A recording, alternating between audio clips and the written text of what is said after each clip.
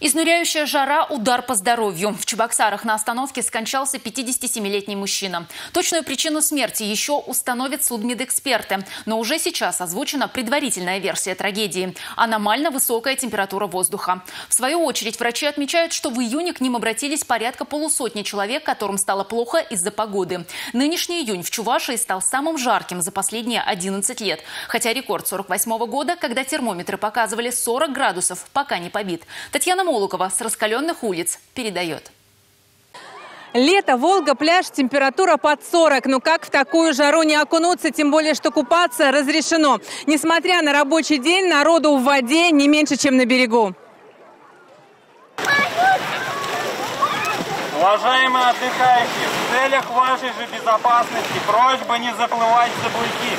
Родители и взрослые, контролируйте своих детей, не оставляйте их одних. Ежедневно здесь до 6 тысяч человек на весь пляж. Трое спасателей работают с 10 утра до 8 вечера. Любители ночного купания и утренних заплывов отвечают за свою безопасность сами. Но даже под присмотром человеческая беспечность не знает границ. Много вот за вашу смену вам удалось людей спасти? Очень много. А, сейчас примерную цифру назову. Человек 15. В основном тонут дети.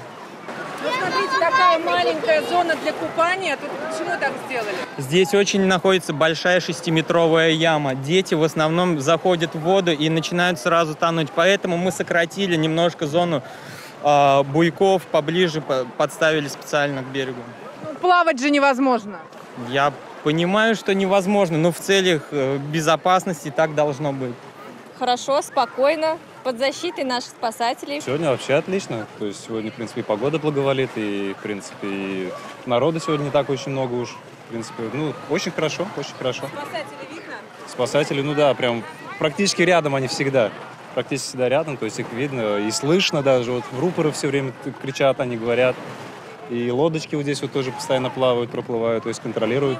А было такое, что спасателей не было? Ой, нет, ну, что-то не помню. Они плавают, прям следят. Туда-сюда ходят они, да, и да. плавают за буйками обязательно. Помню, у меня друг тоже выпал, ему замечание сделали однажды. А спасателей мы видим, да. Спасателей видим. Единственное, да. что их не слышно как-то, может быть, чтобы они погромче, потому что люди все-таки за буйки заплывают, и да. вот как-то им надо поактивнее себя вести, скажем так что они за, там, за несколько дней спасли человек 15 за это время. Ну, наверное, наверное, ну, это да. очень хорошо, потому что люди, конечно, ну, не все соблюдают вот порядок и заплывают за буйки. Конечно, может случаться всякое, и их работа, конечно, очень нужна. МЧС регулярно публикует сводку. В списках значится утонувшие на оборудованных и диких пляжах. За неделю 9 человек. Понимаете? Эти чудовищные кадры из Алаторского района. Пикник у воды закончился несколькими часами работы водолазов. Тело утонувшего мужчины искали в небольшом пруду. Судя по прогнозу погоды, в ближайшие сутки у спасателей работы меньше не станет. 30-го у нас опустится где-то, пока еще не намного, где-то 23-28. То есть мы пройдем вот этот холодный фронт. Угу. Вот он, он, первый холодный фронт.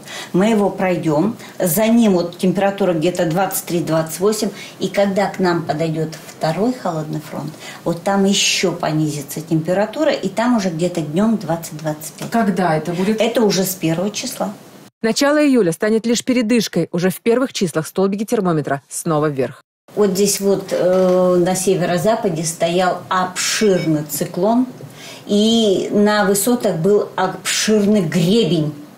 Не циклон, антициклон. И они сюда никого не, не пропускали. Никого. Месяц целый. Да. За нас идет борьба за нашу территорию, но никто не может друг друга победить. Ни один антициклон. Никто, ни циклон, ни антициклоны. И пока идет борьба между циклонами и антициклонами, остается только спасаться от жары. Врачи рекомендуют как можно меньше времени проводить на улице. В солнечную погоду непосредственно нужно обязательно носить головные уборы, любые, желательно из натуральных материалов, чтобы теплообмен не нарушался. Носить зонты с собой, укрываться любыми подручными средствами. А, поскольку нужно с собой бутылочку воды всегда носить, рекомендуется выходить на улицу, гулять в тенистых прохладных местах, либо выходить рано утром или поздно вечером, когда нет уже ярких лучей солнца. Сейчас синоптики опасаются давать долгосрочные прогнозы, как поведут себя циклоны и антициклоны, когда пойдет освежающий дождь. Главное, чтобы аномальные жары к нам не пришли, аномальные ливни. Как это случилось в Москве, которая тоже несколько недель изнывала от зноя. Это видео без комментариев, что называется «Дождались». Татьяна Молокова, Алексей Зотиков, Бахтияр Велиев, Игорь Зверев. Республика.